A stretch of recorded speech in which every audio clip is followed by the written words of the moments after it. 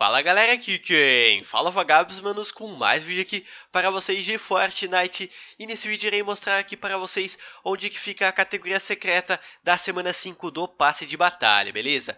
Bom, hoje foi liberado os novos desafios da semana 5 e se você completar todos os desafios dessa semana, você desbloqueia essa tela de carregamento aqui, ó, uma tela bem bonitona, porém lembrando, você tem que possuir o passe de batalha, tá? Você tem que ter o passe de batalha e tem que ter feito todas as missões da semana 1, da semana 2, da semana 3, da semana 4 e todas as missões que lançaram hoje da semana 5 para estar desbloqueando essa tela de carregamento e com ela você desbloqueia uma nova categoria gratuita escondida aí, né, pelo mapa. E nessa tela de carregamento dá para ver nitidamente onde que fica, né, a categoria secreta. Logo atrás ali do, do ômega tem um muro, né, meio quebradinho, e ali tem um desenho, né, de um caranguejo e logo acima dele o símbolo, né, uh, da recompensa ali gratuita. E bom, fica exatamente ali nesse caranguejo, em cima dele, exatamente na posição H10 do mapa. Estarei mostrando para vocês no vídeo. O vídeo não é meu, tá? Porque eu não completei todas as missões ainda.